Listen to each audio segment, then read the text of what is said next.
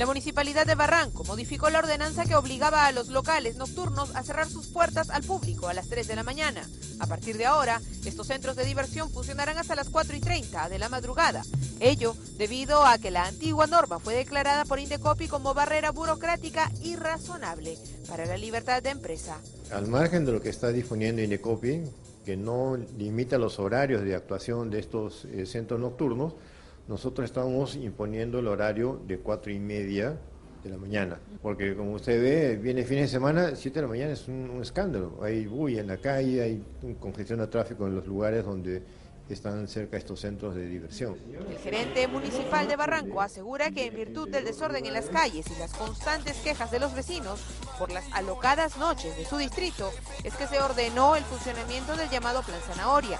Ahora esperan que no haya otra modificatoria más. Ellos le llaman una barrera burocrática irrazonable. Yo no sé si, si es irrazonable que la gente no pueda dormir, que haya inseguridad. Lo que queremos es poner orden. Ahora esperemos que Indecopi otra vez no nos pretenda corregir la plana, ¿no? declarando barrera burocrática y razonable una medida que lo que pretende es únicamente cautelar la seguridad y tranquilidad de los vecinos.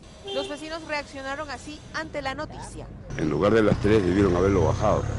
Porque aquí se cometen, ah, los vecinos se quejan por eso justamente. ¿Por qué? Por las borracheras y Barranco, el incremento de la droga. Qué terrible. Muy tarde, cuatro. Tres y media está bien. Cuatro y media yo creo que es una hora bien prudencial, buena hora, cuatro y media de la mañana está bien. Mediante una conferencia de prensa, Indecopi se pronunció. Es de cargo de las entidades de la administración sustentar las medidas regulatorias que emiten.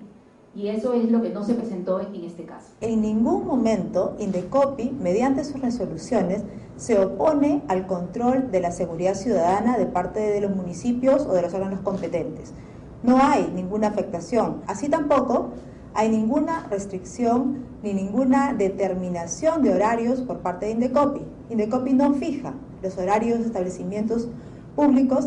Cabe resaltar que esta ordenanza entrará en vigencia el día siguiente de su publicación en el diario El Peruano.